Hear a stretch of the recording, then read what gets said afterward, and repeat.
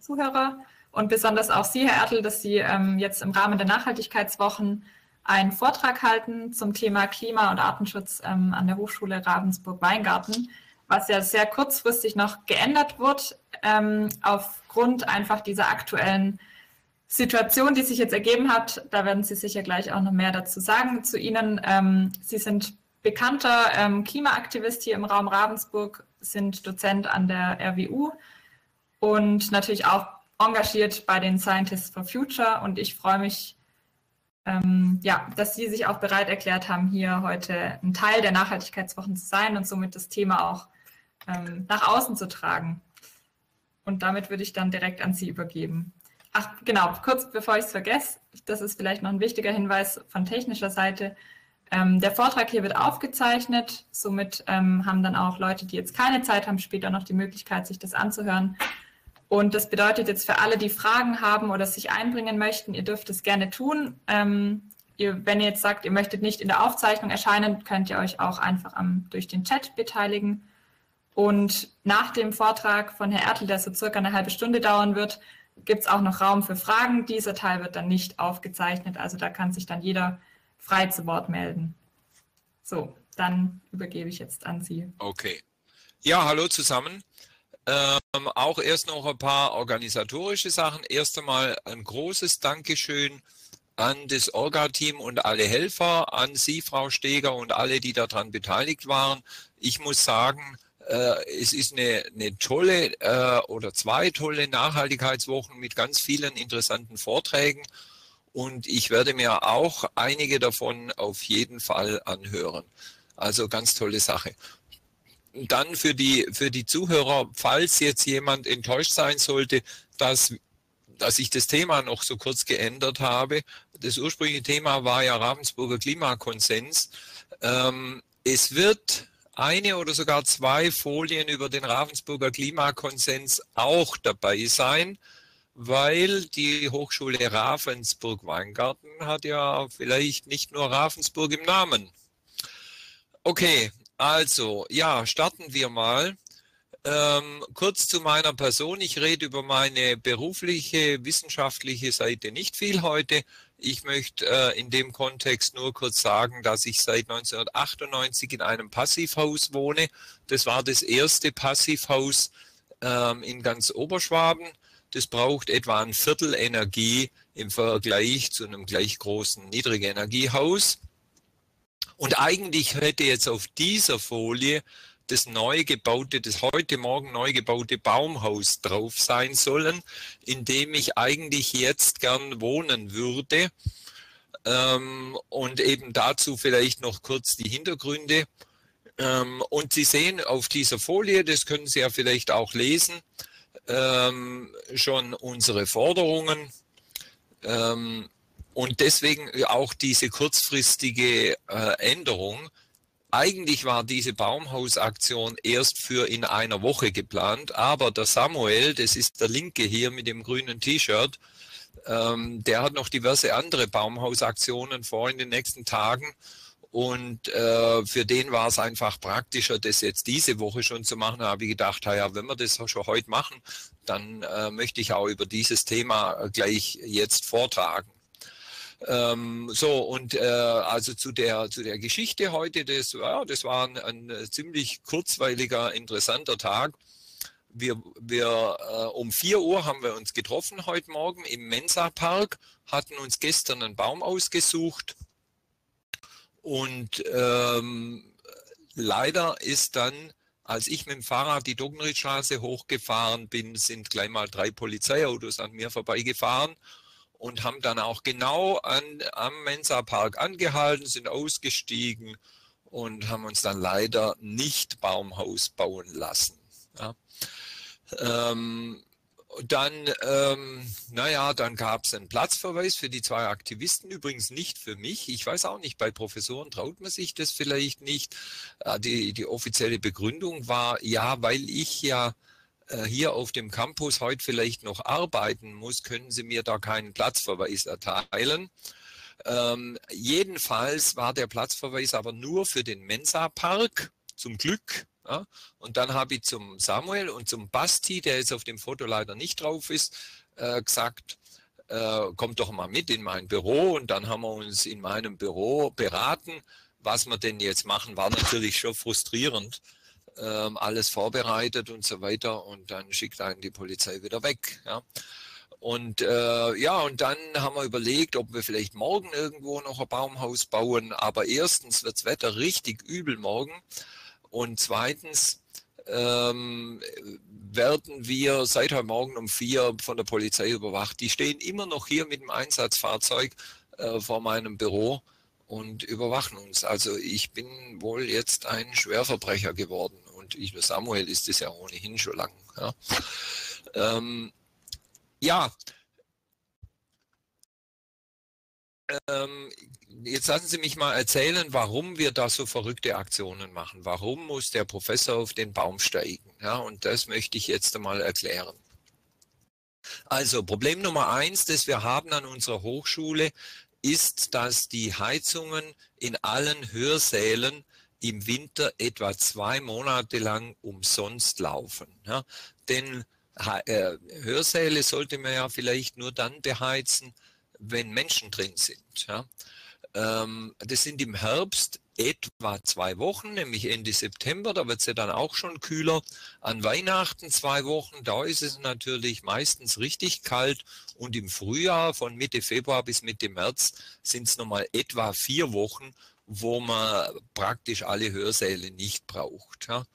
So, ähm, und ich meine, man, kann's, man kann sich kaum vorstellen. Und ich habe übrigens die ersten 15 Jahre, als ich hier war, äh, wäre ich gar nicht auf die Idee gekommen, dass die Hörsäle durchgeheizt werden, wenn man sie nicht benutzt. Ja? Bis ich das durch Zufall einmal entdeckt habe, ähm, in den Weihnachtsferien, äh, irgendwie war ich mal im Hörsaal und, und seitdem, das war vor, keine Ahnung, irgendwie 10, 15 Jahren, äh, versuche ich die Hochschule dazu zu bewegen, dass man doch die Heizungen ausmacht. Und wir haben viele Hörsäle. Ich weiß die nicht die genaue Zahl, aber was weiß ich, 30 bis 50, irgend sowas in der Größenordnung.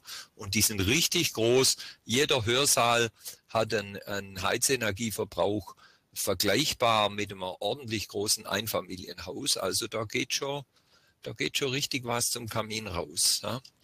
Ähm, ja, und ich meine, ähm, das ist einfach eine Verschwendung von Steuergeldern. Ja, da geht, das kostet ja auch richtig viel und es ist Umweltverschmutzung. So, ähm, jetzt diese Vorgeschichte. Gut, habe ich schon gesagt. Seit zehn Jahren versuche ich das, ja, etwa. Ähm, und dann kommt, äh, bin ich dann immer zum technischen Betrieb gegangen und habe äh, darum gebeten, dass man doch vielleicht äh, vor den Weihnachtsferien die Heizungen in allen Hörsälen abdreht. Und dann kam immer die Antwort, oh nö, äh, das geht ja nicht. Äh, der technische Betrieb, der ist leider überlastet. Also das kann man den Hausmeistern offenbar nicht zumuten. Ich habe übrigens über mehrere Jahre, bin ich immer am Heiligabend vormittags hier hochgekommen und habe in möglichst vielen Hörsälen selber in jedem Hörsaal 15 Heizkörperventile zugedreht. Irgendwann habe ich keine Lust mehr gehabt dazu. Ähm, und habe dann auch gesagt, äh, Leute, vielleicht kann man da ja was installieren, irgendeine technische Lösung, dass das automatisiert wird und so weiter. Und äh, dann war eben die Antwort, äh, das Amt für Vermögen und Bau ist zuständig. Ja? Ähm, und man, ich finde, das geht nicht. Das geht eigentlich nicht, dass das zu einem Mitarbeiter hier, dass man sagt, Amt für Vermögen und Bau ist zuständig, das geht mich nichts an, weil das ist nicht mein Dienstweg. Das Amt für Vermögen und Bau, das ist im, im Landesbetrieb Baden-Württemberg, wo ganz anders angesiedelt. Es gibt in, in Stuttgart äh, auf der einen Seite das Finanzministerium und dann gibt es das MWK, das äh, Wissenschafts- und Kunstministerium. Und wir gehören zum MWK und das Amt für Vermögen und Bau gehört zum Finanzministerium. Das ist ein völlig anderer Branche, aber die sind tatsächlich zuständig für die Bewirtschaftung ähm, aller Liegenschaften des Landes, auch für unsere, nicht aller, fast aller. Bei den Universitäten ist es zum Beispiel nicht so. Ja? Ähm, okay. Aber dann irgendwann haben wir halt gesagt, ja alles klar, dann reden wir mal mit dem Amt für Vermögen und Bau. Und dann kam diese Antwort. Die sind auch überlastet und können da nichts machen. Naja, also dann, ich habe es ja schon gesagt, ich habe ja selber von Hand viele Hörsäle äh, immer die Heizkörper ausgeschaltet. Ähm, und dann haben wir, und zwar hier an, an unserem Institut für künstliche Intelligenz, ähm, da haben wir viele kluge Informatiker, Elektrotechniker, Mechatroniker und da haben wir mal gesagt miteinander, komm, wir probieren das einfach mal aus. Ja, wir haben uns dann mehr oder weniger illegal durften wir gar nicht, äh, zwei so WLAN-Heizkörperthermostate gekauft und haben die an unseren Gruppenkalender, den Google-Kalender angeschlossen. Und immer dann, wenn ein Termin in dem Besprechungsraum war, wurde die Heizung automatisch hochgefahren und dann wieder automatisch runter. Sowas kann man heute machen, ähm, aber man darf es nicht machen. Das ist das Problem in dieser Institution. Ja. Also das geht gar nicht, dass man hier selber irgendwie was entwickelt und dann installiert. Ähm. 2014 bis 2018 war ich Nachhaltigkeitsbeauftragter hier an der Hochschule und ich hatte das große Glück, eine Referentin für nachhaltige Entwicklung noch zu haben. Äh, das ist, das war eine 50 Prozent Stelle. Ähm, und so jemand hat natürlich viel mehr Zeit als ein Prof, der das neben seiner Lehre und Forschung äh, her noch macht. Und ähm, ja, mit dieser Referentin zusammen haben wir dann versucht, also wir haben eine ganz tolle Vortragsreihe ähm, gestartet äh, zu, zu nachhaltiger Entwicklung. Und das war für, für die Nachhaltigkeit an der Hochschule ein ganz großer Gewinn. Wir hatten regelmäßig, also äh, über das Semester verteilt, äh, sechs, acht, zehn äh, sehr gute Vorträge und Referenten teilweise. Es war einfach äh, toll. Aber man braucht jemanden, der das organisiert, der das plant und macht.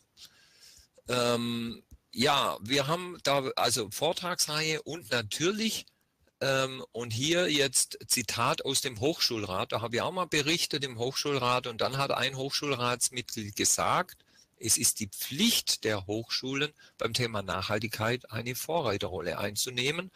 Und das hat mir natürlich richtig gut getan. Ähm, und ich meine, natürlich hat er da auch absolut recht gehabt. Übrigens, ähm, im Leitbild der Hochschule steht die Nachhaltigkeit auch ganz prominent mit drin. Okay, jedenfalls haben wir dann überlegt, wie wir vielleicht doch irgendwie Heizenergie sparen können.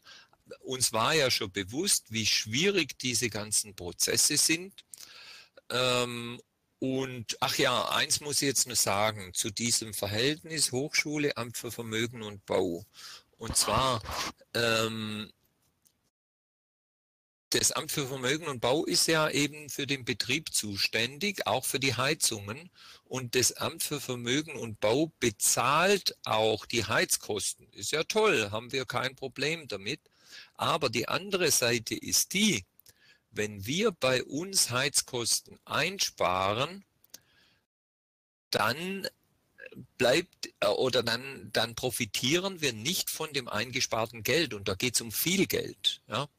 Und das ist natürlich einfach blöd. Was meinen Sie, warum viele Schwaben versuchen, Energie zu sparen? Ja, vor allem wegen dem Geldbeutel. Und das ist bei so einer öffentlichen Einrichtung nicht anders, äh, vielleicht sogar noch extremer. Ja? Ähm, weil ich meine, die meisten Mitarbeiter interessieren sich doch nicht dafür, ob im Büro äh, Energie gespart wird. Da muss schon von der, von der Leitung her äh, bisschen Druck kommen. Ja? Ähm, das ist das eigentliche Problem, ja, dass wir die Bewirtschaftung, was Energie betrifft, nicht selber in der Hand haben und deswegen nicht von Einsparungen profitieren können. Also das ist ein ganz zentraler Teil von dem Problem. Aber das werden wir von heute auf morgen nicht beseitigen, weil diese Strukturen, die sind zementiert. Ja. Ähm, okay, dann haben wir gesagt, okay, lasst uns ein Projekt starten. Wir hatten eine Projektidee mit drei Hochschulen und zwei Ministerien. Ja. Also hier sieht man unsere Hochschule, dann Biberach, Offenburg und Stuttgart. Und in Biberach und Offenburg, in Biberach wird ähm, ähm, Architektur und Bauingenieurwesen gelehrt und da gibt es auch einen Lehrstuhl, Professor Becker, der sich mit so Gebäudesteuerungen befasst und sehr gut auskennt. In Offenburg eine ähnliche Geschichte und Stuttgart weiß ich es nicht mehr so genau.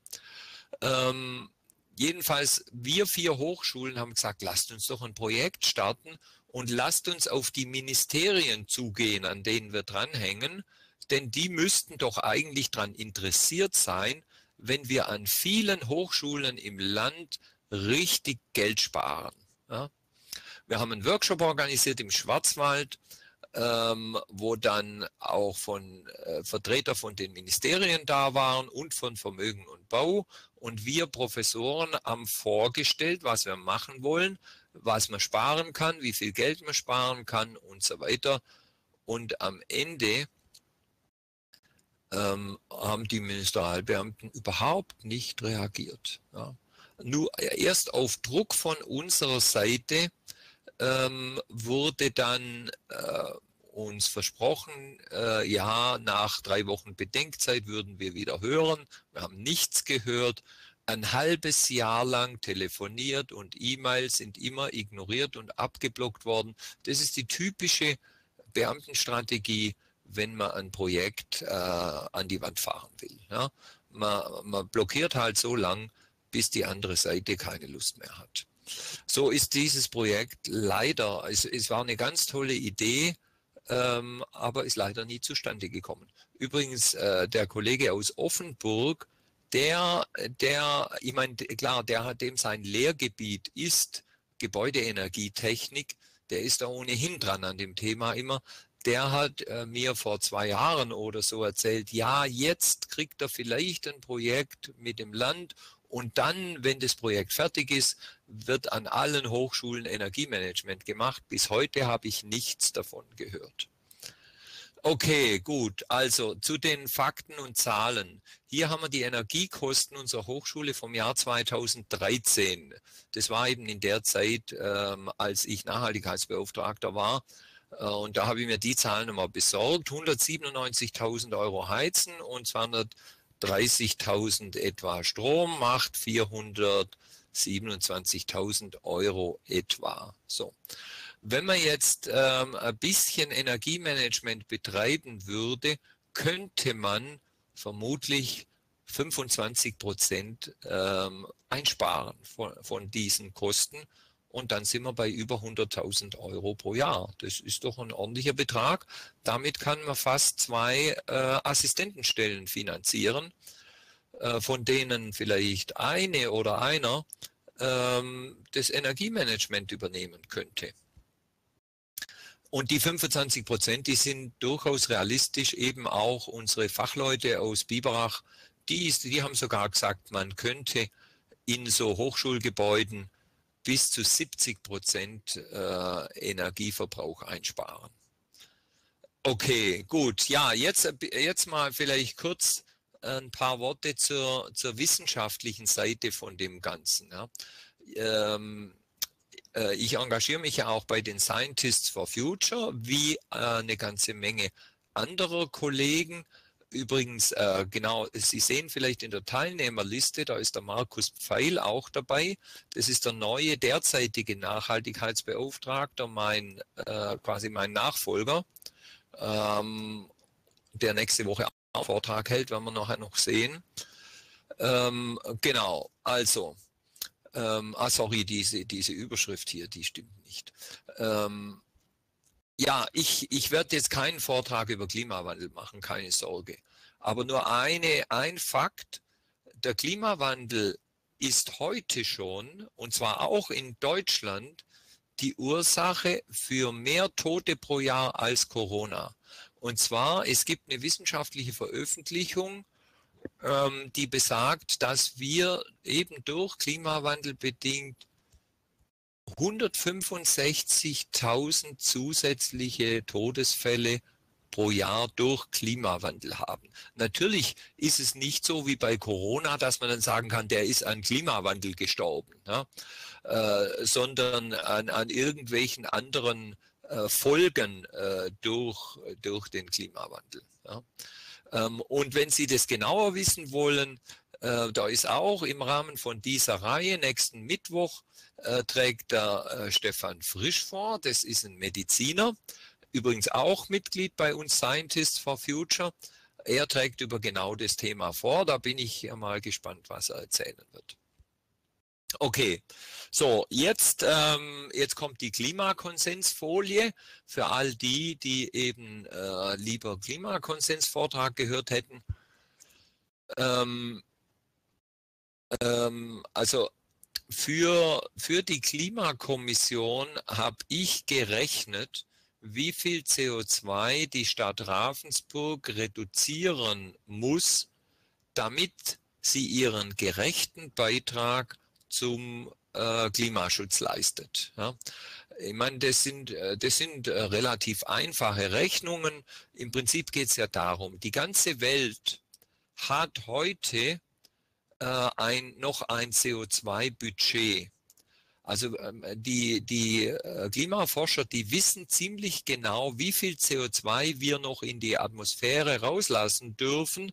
Und dann ist aber genug. Ja, das ist einfach eine gesamte Menge. Da kommt es gar nicht so drauf an, wann wir das ausstoßen, sondern es geht nur um die Summe. Und diese Summe sind weltweit ähm, etwa 300 äh, Gigatonnen. Ja? Ähm, das ist das Budget, was man noch ausstoßen darf. So.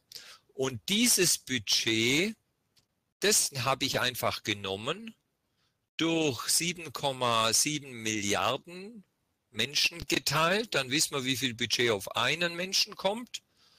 Und dann mit 50.000 Mal genommen, das ist die Zahl der Ravensburger, und dann kommen wir auf 3 Millionen Tonnen. Merken Sie sich die Zahl kurz, 3 Millionen Tonnen. So, und jetzt schauen wir das Diagramm hier an. Da ist zum einen nach rechts die Zeit aufgetragen, von jetzt bis 2050 und nach oben die Kilotonnen CO2. Also wenn wir hier bei 440 sind, dann sind es, das ist der derzeitige CO2-Ausstoß in Ravensburg, 440.000 Tonnen pro Jahr. Wobei das könnten auch 500.000 oder 600.000 sein. Die Zahlen, die schwanken äh, ziemlich stark. Man weiß es nicht genau, aber von irgendwas muss man ja mal ausgehen. So, ähm, und wenn wir jetzt die drei Millionen nehmen, die Ravensburg noch als Budget hat und das durch 440.000 teilt, dann kommt man auf etwa sieben Jahre. Das heißt, wenn wir dieses Diagramm hier anschauen, sehen Sie meinen Cursor hier oben in dem Diagramm. Ähm, also siebeneinhalb Jahre von jetzt, das wäre etwa hier. Äh, und das wäre die einfache Rechnung, wenn wir Business as usual weitermachen, also immer 440.000 Tonnen ausstoßen, dann reicht es siebeneinhalb Jahre. Aber dann muss man senkrecht abstürzen das heißt, dann von einem Tag auf den nächsten kein CO2 mehr ausstoßen. Völlig unrealistisch. Deswegen macht man typischerweise so exponentielle Ausstiegspfade. Und das kann man ausrechnen. Die Fläche unter der blauen Kurve ist genauso groß wie die unter dem siebeneinhalb Jahre Rechteck. Ja. Ähm, so. Und wenn man die blaue Kurve nimmt und hier steht's, dann äh, bedeutet es 13,3 Prozent weniger CO2 jedes Jahr im Vergleich zum Vorjahr. Ja? Ähm, allerdings haben, hat man dann nur eine 50% Sicherheit, das 1,5 Grad Ziel noch zu erreichen. Das ist natürlich gar nicht toll. Ja? Also ich meine, in, in, so in Corona-Zeiten, ähm, ich glaube, wir wären nicht begeistert, wenn wir eine Impfung hätten, die nicht 95 Prozent Sicherheit bietet, sondern nur 50 Prozent Sicherheit. Also bei solchen Sachen, da möchte man eine Sicherheit haben, sehr nah an 100 Prozent. Beim Klimawandel wird typischerweise nur die 50 Prozent Sicherheit gefordert. Es gibt aber von den Klimaforschern auch die Zahlen für 67 Prozent, also zwei Drittel Sicherheit. Da, äh, das habe ich dann auch gerechnet, da müssten wir 19 Prozent CO2 pro Jahr reduzieren in Ravensburg und das wäre die rote Kurve. Ja. So, ich meine, beides ist richtig anspruchsvoll, weil für so, für so eine große, komplexe Stadt, wie erreicht man das, dass die so schnell das CO2 reduziert? Ja? Und äh, tatsächlich hat dieser Ravensburger Klimakonsens einen inhärenten eingebauten Widerspruch. Ähm, einerseits hat der Gemeinderat beschlossen, übrigens dieses blaue, die 13,3 Prozent, die hat der Gemeinderat übrigens einstimmig beschlossen. Ja. Auch die nicht so grünen Parteien haben dazu gestimmt. Ich weiß nicht, wie ich das geschafft habe, die davon zu überzeugen. Vielleicht auch durch diese tolle Zusammenarbeit von Scientists for Future und Fridays for Future, weil es waren auch äh, Fridays-Aktivisten im, in der Klimakommission mit dabei und in der letzten Sitzung ging es um diese Abstimmung. Und tatsächlich hätte die Stadt dieses Thema Ausstiegspfad komplett ignoriert. Obwohl der Herr Bastin, der Baubürgermeister, mich gebeten hat, es auszurechnen. Dann haben wir uns abgesprochen vor der Sitzung, die Aktivisten und ich. Und ich habe denen gesagt, hey Leute, schaut her, ich habe das gerechnet, so und so, 13 Prozent ähm, oder 19 Prozent müsste die Stadt reduzieren. Ähm, aber die wollen mich nicht vortragen lassen. Dann sind die Aktivisten gekommen und haben gesagt, wir gehen jetzt rein und sagen das dem RAP. Und wir drohen dem RAP an, dass wir sofort die Sitzung verlassen und äh, alles demonstrieren und blockieren, wenn der Erdl nicht reden darf. Dann durfte ich das vorstellen und dann wurde einstimmig äh, zugestimmt äh, vom Klimarat, äh, Klimakommission und vom Gemeinderat auch noch. Das ist die gute Nachricht und das, das ist auch der Hebel, den wir heute in der Hand haben. Die schlechte Nachricht ist, erstens, die Maßnahmenpakete sind so schwammig formuliert und überhaupt nicht verbindlich. Ähm, und es sind viel zu wenig äh, äh, inkonsequente Maßnahmen. Damit wird man niemals dieses Ziel erreichen. Und der erste beste Beweis ist der, dass bis heute noch nichts passiert ist. Der, diese, diese Entscheidung äh, vom Gemeinderat die war Ende Juli äh, 2020. Jetzt ist bald ein Jahr vorbei. Und äh, wir hätten eigentlich jetzt äh, richtig große Anstrengungen gebraucht. Und es ist tatsächlich im Prinzip nichts passiert.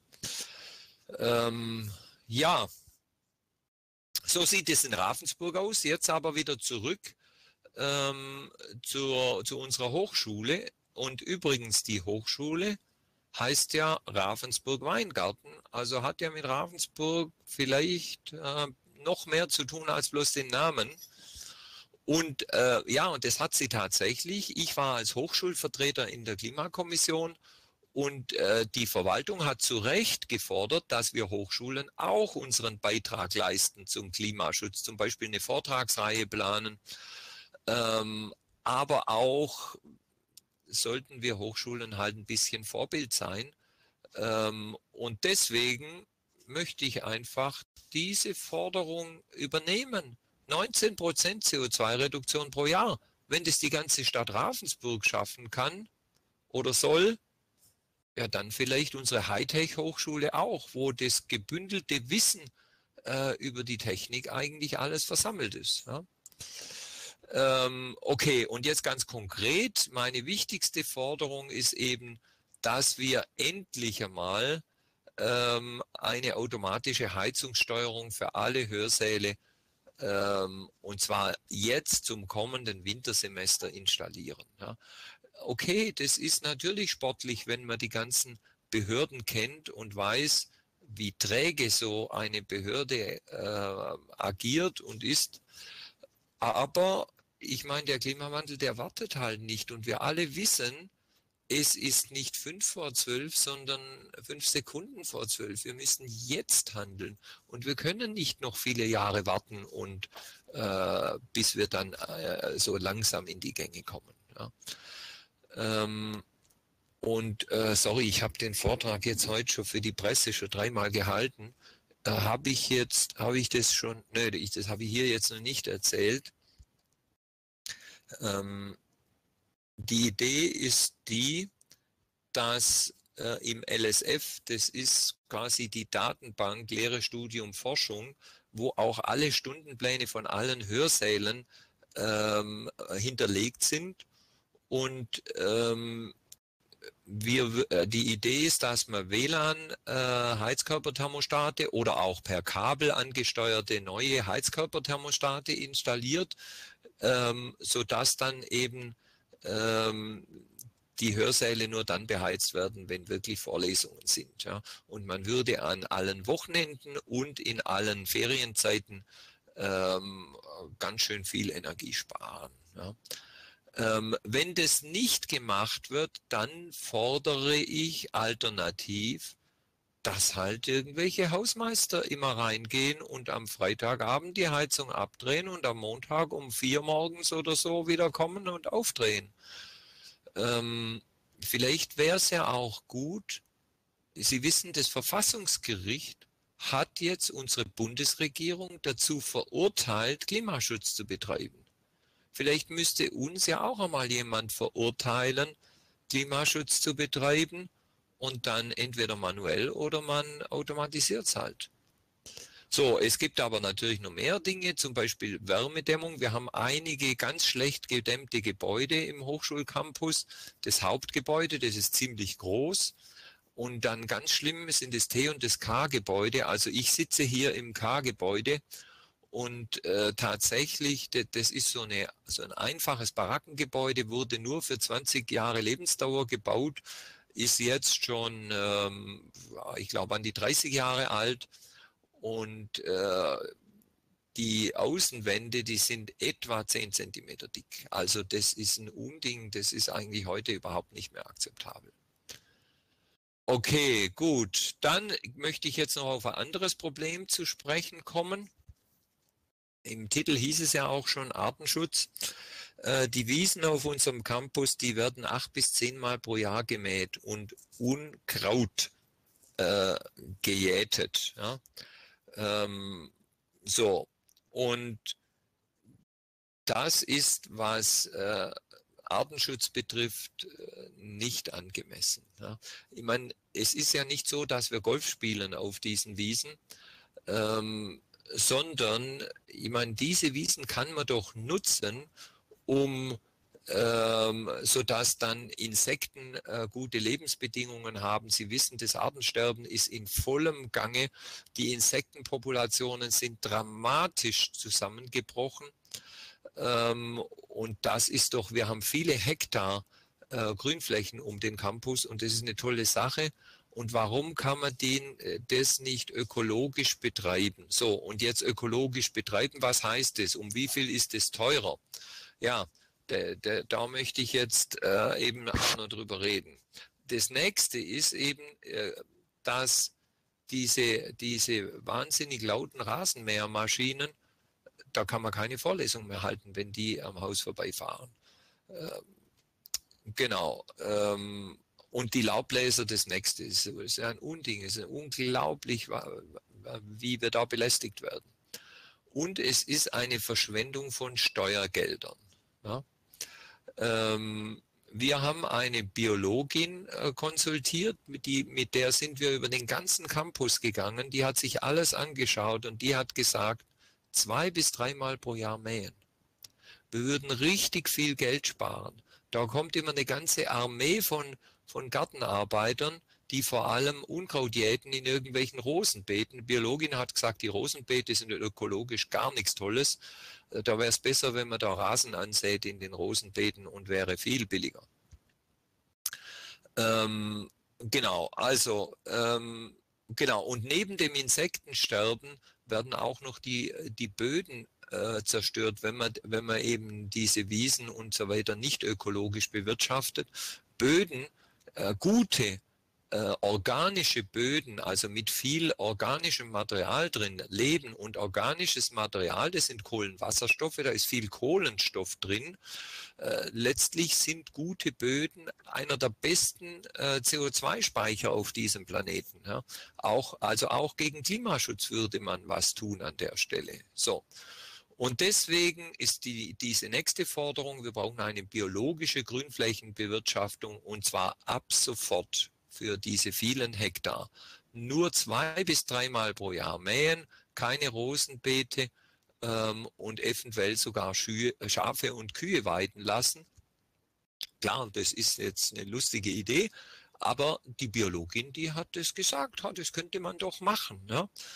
Übrigens, der Herr vom Amt für Vermögen und Bau, der damals dabei war, der hat dann auch gelächelt und hat gesagt, ja, das könnte man ja machen. Aber es ist leider beim Konjunktiv geblieben. Ähm, und da kommt das nächste bürokratische Problem ins Spiel. Ähm, den Beamten fällt immer irgendein Grund ein, weshalb es nicht geht. Ähm, die, die, die Vergabe äh, von diesen Aufträgen an irgendwelche Gartenbauunternehmen, das erfolgt immer im Fünfjahresplan. Ja? Also Planwirtschaft. Es ist wirklich Planwirtschaft par excellence. Ja? Für fünf Jahre wird der Auftrag vergeben an eine Firma und dann steht genau drin und ihr müsst eben so acht bis zehn Mal pro Jahr mähen ähm, und dafür kriegen die das Geld und dann machen die das und wenn man dann zum Schluss kommt, das ist nicht ökologisch, dann muss man fünf Jahre warten. Wir hatten übrigens hier, also ich kann die Kamera nochmal kurz hier rauszeigen lassen. Sie sehen da diese Wiesen hier beim TLK-Bereich. Ähm, ja, sorry, jetzt bin ich gerade rausgekommen. Was wollte ich jetzt sagen? Ähm,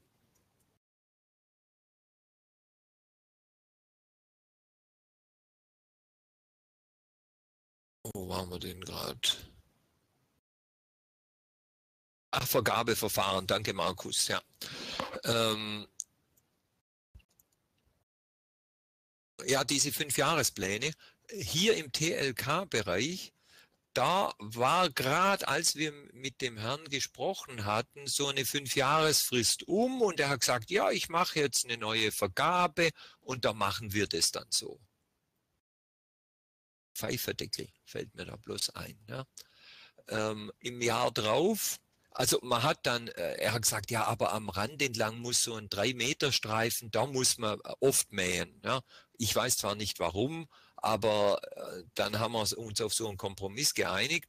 Nur leider war es dann halt so, dass dieser drei Meter Streifen etwa 50 Meter breit war und man hat in der Mitte einen kleinen quadratischen Fleck Gras stehen lassen, der äh, vielleicht nur zwei bis dreimal im Jahr gemäht wird. Ja. Also so ein, so ein, so ein Alibi-Öko-Fleck hat man in dem, in dem Rasen stehen lassen. Und ich meine, da muss ich einfach sagen, mir tut es einfach weh, wenn da, wenn da einfach Steuergelder verschwendet werden, um der Umwelt zu schaden. Sowas, das darf einfach nicht sein. Okay, es gibt noch ein paar weitere Wünsche zur Nachhaltigkeit an der Hochschule. Wir werden, Markus, du kannst es ja nachher vielleicht noch äh, korrigieren. Ich glaube, wir werden Mitte des Jahres eine halbe Stelle für eine neue Referentin oder Referent bekommen für Nachhaltigkeit. Ich würde mir natürlich eine 100% Stelle wünschen und dann könnten nämlich die Hälfte der Stelle könnte zum Beispiel Vorträge organisieren und die andere Hälfte könnte sich um Energiemanagement und ähnliche Dinge kümmern. Ähm, und natürlich das Thema Stromsparen ist auch ganz wichtig. Äh, die vielen Rechner, die bei uns stehen und so weiter, auch da äh, gibt es durchaus noch Luft nach oben und das ganze Rechenzentrum und so weiter. Dann ein ganz interessantes Thema Mobilitätsmanagement für Studierende, was man auch schon längst hätte angehen sollen. Ähm, ich meine, da wurden auch schon so erste Ansätze für so Smartphone-Apps entwickelt. Äh, leider ist das irgendwie wieder im Sande verlaufen. Das ist klar, wenn ein Student halt mal was macht, dann ist das nicht ganz fertig und dann, äh, dann stirbt es wieder, wenn da niemand dran bleibt. Ähm, und man muss halt auch Geld in die Hand nehmen, weil sowas muss professionell gemacht werden und da muss man halt Geld in die Hand nehmen. Äh, die Idee ist ja auch ganz einfach. Äh, mehr als die Hälfte unserer äh, Studierenden äh, pendelt in Nicht-Corona-Zeiten täglich mit dem Auto von Wangen, Friedrichshafen, Biberach und sonst wo an die Hochschule. Und ganz viele davon fahren allein mit ihrem Auto, äh, weil es bequem ist und vielleicht auch, weil man gar nicht weiß, dass heute um 9.45 Uhr irgendjemand anders aus der gleichen Stadt ähm, auch Vorlesung hat. Und über so eine App könnte man natürlich genau die richtigen Leute zusammenbringen und so weiter. Ähm, dann ein Thema, ein ganz heißes Thema kenne ich aus Ravensburg, Parkraumbewirtschaftung. Wir könnten ja zum Beispiel das Parken kostenpflichtig machen. Ne? Das kostet einfach und das würde vielleicht äh, die Studierenden mit motivieren, nicht allein im Auto zu fahren. Wenn man zu viert im Auto fährt, ist das Parken auch um einen Faktor 4 billiger. Und dann gibt es natürlich noch so dieses EMA oder GWÖ-Thema, EMAS oder GWÖ-Thema. EMAS, das ist so ein Energiemanagement-Zertifizierungsschema äh, von der EU. Und da, damit könnte man äh, an unserer Hochschule einen Prozess in Richtung mehr Nachhaltigkeit starten, auch Bewusstsein von den Mitarbeitern und so weiter und so weiter. Und äh, äh, warte mal kurz. Ähm, und, und GWÖ-Zertifizierung, das ist Gemeinwohlökonomie, da kann man sich auch zertifizieren lassen als Firma oder als Hochschule. Sowas, das würde uns einfach gut tun, wenn man solche Prozesse starten würde. Aber auch da muss man Geld in die Hand nehmen.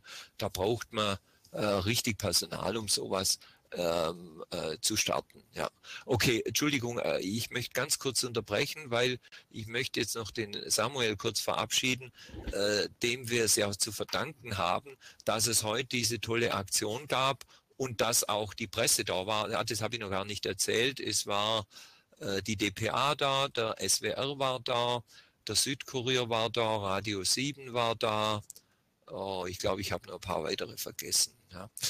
Ähm, und das ist einfach äh, diese tolle Zusammenarbeit mit den Aktivisten. Ja. Wir brauchen, wir Scientists, wir brauchen die Aktivisten, um Presse zu kriegen.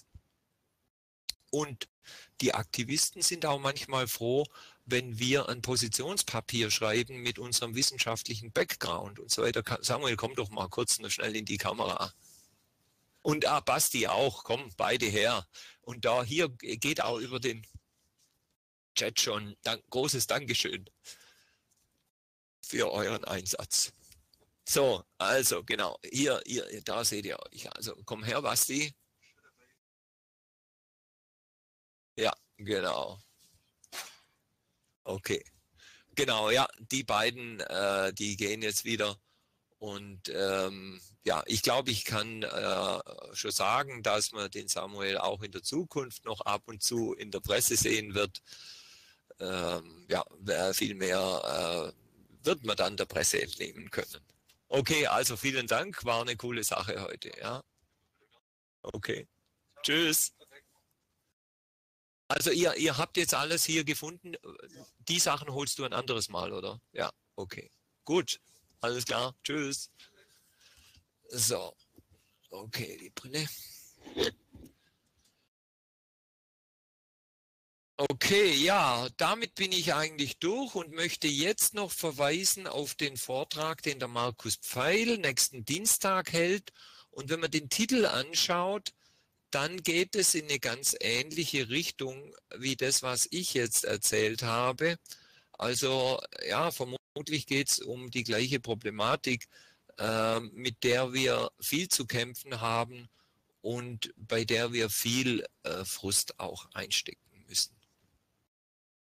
Okay, ja, genau. Ähm, ja, jetzt genau. Eigentlich wollte ich diese Frage Ihnen stellen, also insbesondere an Sie Studierende, ähm, ob Sie nicht Lust hätten, uns auf dem Baumhaus einmal abzulösen, das wir heute Morgen gebaut hätten, wenn die Polizei uns nicht daran gehindert hätte. Aber das gibt es jetzt nicht, das Baumhaus.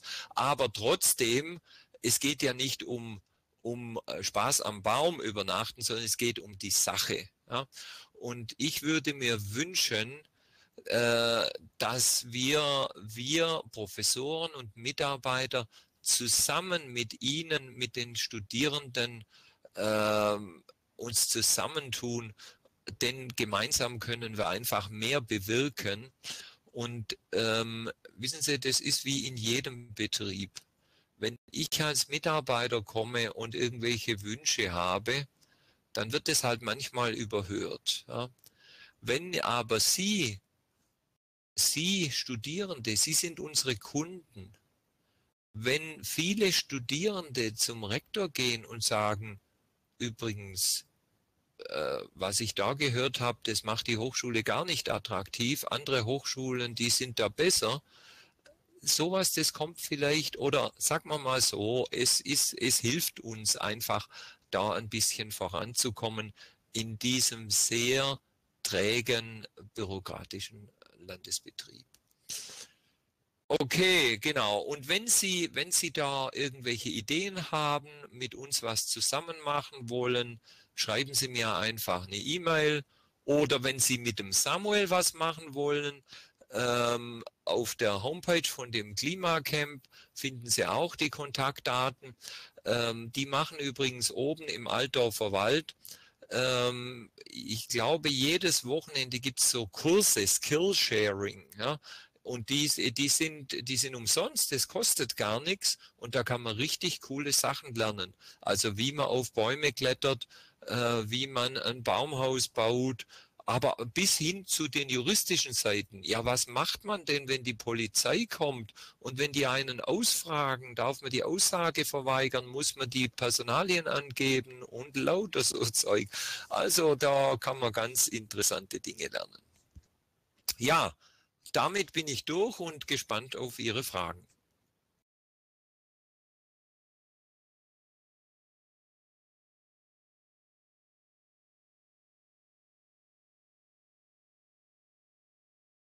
Sie dürfen übrigens auch äh, das Mikro nutzen, um Fragen zu stellen. Genau, dann nutze ich noch kurz den Moment, um mich bei Ihnen zu bedanken für den Vortrag und ähm, ja auch zu hören, dass Sie auch vor ähnlichen Herausforderungen stehen wie wir Studierende. Ähm, ich sehe auch im Chat, es sind auch einige ähm, aus der Umwelt AG dabei und uns beschäftigt das Thema ja auch, ähm, wie wir unsere Hochschule einfach auch mitgestalten können. Und das hat mich jetzt auch ermutigt, dass Sie auch gesagt haben, ja, durch die Zusammenarbeit, dass man sich einfach noch mehr zusammentun muss, ähm, weil alleine ist so eine Veränderung wirklich schwierig. Und ja. genau, ich sehe jetzt auch schon, dass die Clara was geschrieben hat. Und alle, die Fragen haben oder auch Anmerkungen, dürfen sich gerne auch ähm, mit dem Mikrofon beteiligen. Okay, also ähm, über welche Ansprechpersonen haben wir als Studierende den größten Hebel? Wo sollten wir, naja, ich meine, ich habe es ja geschildert, es ist eine, ein ganz schwieriges, komplexes Konstrukt. Ja? Und äh, im schlimmsten Fall passiert es Ihnen, wenn Sie irgendwo äh, zum technischen Betrieb oder zur Hochschulleitung gehen, dass es heißt, geht mich nichts an, Vermögen und Bau. Ja? Ähm, das, es ist wirklich schwierig. Also ich, ähm, ich meine, das haben Sie herausgehört auch, ich bin frustriert. Ich habe das Amt des Nachhaltigkeitsbeauftragten auch deswegen aufgegeben, weil ich frustriert war, weil ich mir gesagt habe, äh, ich habe ohnehin so viel zu tun, auch mit meinem Institut und so weiter. Ähm, ich habe nicht mehr die Zeit äh, dafür, äh, umsonst äh, irgend, gegen irgendwelche Blockaden anzurennen. Ähm, und Sie haben gesehen, was ich jetzt mache. Ich habe mich auf die ähm, Revoluzzer-Seite äh, begeben. Ähm, mal sehen, mal sehen, was sich da tut. Aber ich könnte mir durchaus vorstellen, dass es vielleicht einmal eine Demo gibt von Studenten. Ja?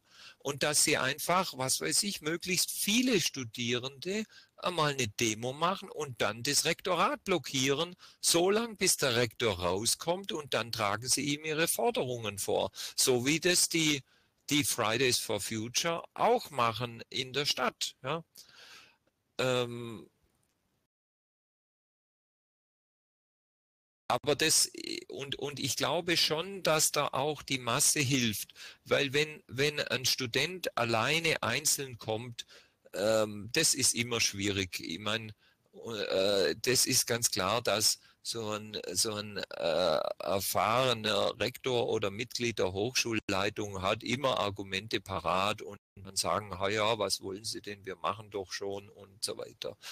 Ähm, also da, da sollte man schon mit entsprechend Masse kommen. Herr Wolfgang, vielleicht darf ich da auch einen Kommentar dazu geben, kurz. Ja, klar. Ähm, vielen Dank nochmal auch für deinen Vortrag. Ähm, mir hat er tatsächlich unter dem neuen Thema auch viel Spaß gemacht, so wie ich. Ähm, tatsächlich glaube ich, genau wie du gesagt hast, es kommt ein bisschen darauf an, die Meinung zu bündeln. Die Studierenden haben ja Vertreter in allen möglichen Gremien, also sei es der Senat äh, zum Beispiel. Und alle diese Gremien haben das gleiche Problem wie ich als Nachhaltigkeitsbeauftragter auch. Wir sind nämlich streng genommen nur für die Lehre zuständig wenn man das, äh, das ist das letzte äh, Mittel, das dann kommt. Der Senatsbeauftragte für nachhaltige Entwicklung ist vom Senat bestellt und per se nur für die Lehre zuständig, ähm, für nichts anderes. Dafür wurde man nämlich bestellt. Aber aus diesen Gremien heraus kann man trotzdem, denke ich, den effizientesten Druck aufbauen. Und der Druck kommt jetzt schon an, das gebe ich auch mit. Ich benutze das auch selber, der neue Hochschulfinanzierungsvertrag, das Finanzierungsgesetz setzt die ähm, Einhaltung oder die Umsetzung von quantifizierbaren Nachhaltigkeitszielen ähm, voraus, äh, um die volle Finanzierung abrufen zu können in Zukunft. Deshalb äh, wird auch gerade darüber gesprochen, dann eine neue Stelle zu schaffen und vielleicht sogar einen Hochschulausschuss für Nachhaltigkeit zu gründen, der dann auch für den Rest und nicht nur für die Lehre zuständig wäre. Das heißt, im Moment glaube ich tatsächlich, ähm, äh, also natürlich alle Art von Sichtbarkeit hilft, aber ansonsten hilft es eben natürlich auch, wenn Sie stark die in den Gremien vertretenen ähm, Studierenden motivieren, das dort einzubringen, sei es für die Lehre, sei es für den, äh, für den Betrieb. Zum Beispiel, wenn jetzt darüber diskutiert wird, wie wir fürs nächste Semester Unterricht machen und wir gehen zurück in die Präsenz. Und es gibt Lehrende, die wollen trotzdem was über Big Blue Button machen. Dann könnte man einen Online-Tag machen. Man hätte ähm, 20 Prozent der Fahrten an die Hochschule gestrichen würde man das koordiniert machen, sodass alle Online-Lehre an einem Tag ist, wenn wir präsent haben, Präsenz haben. Das heißt, auch die Lehre könnte da direkt mit reinwirken. Ja. Und ähm, da glaube ich eben immer, je mehr man bündelt, desto besser. Genau, das wäre so das Ding. Und ich werde dann natürlich ähm, nächste Woche, ich habe zwei Vorträge, einen, der auf sich auf die Hochschule bezieht, einen, der sich nicht auf die Hochschule bezieht. Und ich werde da auch nochmal drauf eingehen, weil das sind genau die Probleme, die man hat und nur die Masse macht's. Ja, also das, das möchte ich auch nochmal unterstützen und auch Ihnen sagen, was jetzt bei dieser Klimakonsensgeschichte in Ravensburg läuft. Ähm, die Stadt, die kommt so langsam in die Pötte. Und das wäre niemals passiert ohne Fridays for Future. Das ist absolut sicher. Ja? Und wenn, dann wäre das alles viel langsamer gegangen. Ja. Aber man merkt genau, zum Beispiel wurde jetzt ein, ein Klimarat sogar schon besetzt, die Mitglieder stehen schon und es ging alles richtig flott. Äh, und das haben wir dem Druck der Aktivisten zu verdanken. Ja. Also, ähm, und ich glaube, dass das bei uns an der Hochschule auch wirken könnte, wenn von studentischer Seite einfach ein bisschen Druck aufgebaut wird. Aber ich meine, ich weiß, das ist schwierig. Äh, viele unserer Studierenden haben ein ziemlich stressiges Studium, jedes Semester, jede Menge Prüfungen und man hat vielleicht gar nicht die Luft, irgendwie an irgendwelchen Demos mitzumachen oder sich zu informieren über irgendwelche äh, Geschichten. Ähm, aber das braucht es eigentlich. Und bitte denken Sie auch dran, es geht um Ihre Zukunft. Ähm, und äh, da müssen wir halt einfach ein bisschen Zeit und Arbeit investieren.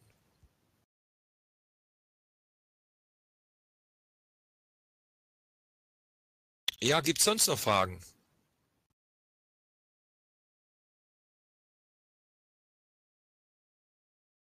Was meinst du, Markus, mit alle mitmachen, nicht nur das Kämmerlein? Wenn jetzt die Ziele ähm, gesteckt werden, die sich die Hochschule stellen will, um diesen Rahmen für den Hochschulfinanzierungsvertrag zu erfüllen, dann finden wir natürlich Ziele, die wir erfüllen können. Ja. Wenig Aufwand, die werden wir schon finden.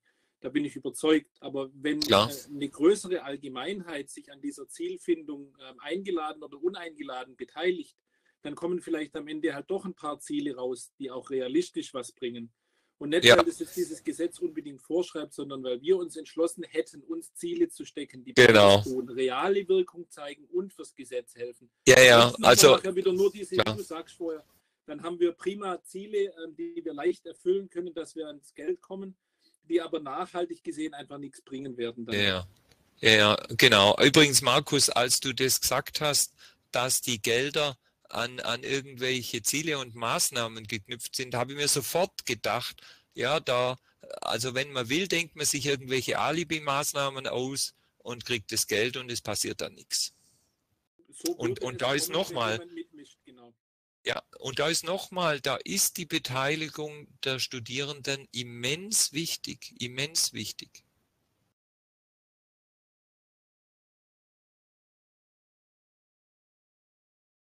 Ja, gibt es sonst noch Fragen, Anregungen, Kooperationsprojekt, Ideen, was auch immer?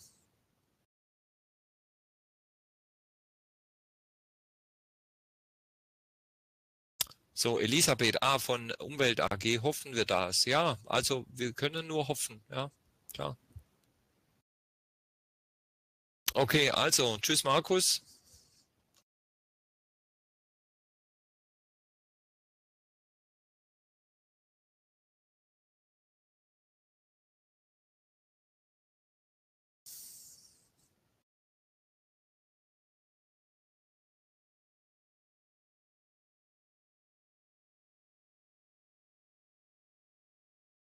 Okay, gut, ja. Ähm, Frau Steger, ich glaube, dann sind wir durch. Es scheint keine weiteren Fragen zu geben.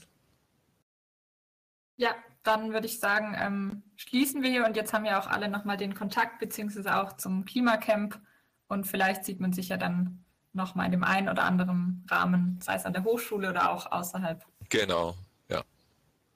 Okay, ja, vielen Dank für die äh, Beteiligung und bis hoffentlich demnächst mal wieder. Tschüss.